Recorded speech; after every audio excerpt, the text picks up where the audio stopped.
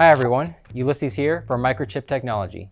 Welcome back to Ask Our Experts, a series of videos where we answer some FAQs on a wide variety of topics. Today we're talking about secure elements again. To help answer a question, we welcome back Todd Slack. Todd, the IEC 62443 is a cybersecurity standard for the industrial market and affects how semiconductor devices are selected. Can you give us a quick overview of the standard for our viewers? So IEC 62443 uh, is a specification that is targeted at the industrial market. Uh, it is a document that is nearly 900 pages long, which can be a little daunting uh, but it is narrowly focused on the industrial automation and control systems market. Uh, virtually all of the major players in this space have adopted it, um, beginning in the teens and now into 2020 and beyond. Uh, so this specification has been maturing over time. Those 900 pages are broken up into four major sections. First, you have your general section, which covers uh, terms, uh, glossary, kind of an overview of uh, security topics. Uh, next is policies and procedures. Uh, within policies and procedures, they actually define uh, different levels of, of security, basically. Level zero being no security at all.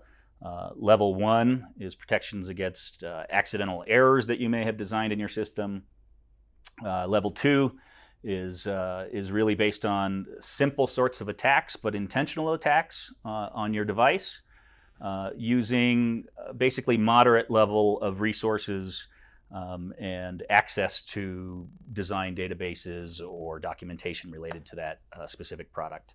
Uh, then you move to level four, uh, which also uses sophisticated attack methods, but also increases the knowledge. So you have somebody that is very knowledgeable about the design of the platform and using sophisticated attacks. Uh, that's a level four sort of protection.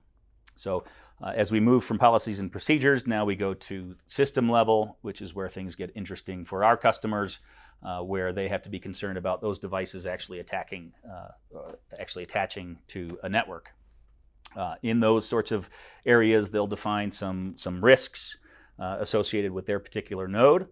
Uh, you may determine a variety of ways that a hacker may try and attack a node, and if they do attack a node, uh, and they're successful there. What other nodes might they have uh, success attacking? So, sort of an attack tree analysis. And then at the component level, um, that's really where silicon products come in. And that is where we can help our customers select the right device, uh, like our crypto authentication ECC family uh, or our crypto automotive trust anchor family as well.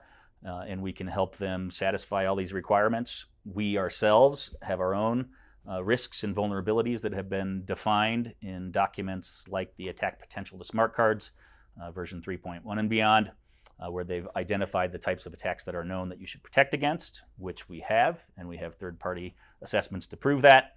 And then to help our customers with that selection, we've also put together an app note and a blog uh, that highlights some of the vulnerabilities that have been defined uh, in these sets of 62443 documentation, where we can identify how a specific uh, feature of a device can be associated with the spec and help them implement and prove compliance to IEC 62443. Thanks, Todd. Always appreciate your time. For our viewers, make sure to read our blog on IEC 62443, linked in the description below. And as always, don't forget to subscribe to our YouTube channel to be the first to know when we have more insights from our experts. We'll see you next time.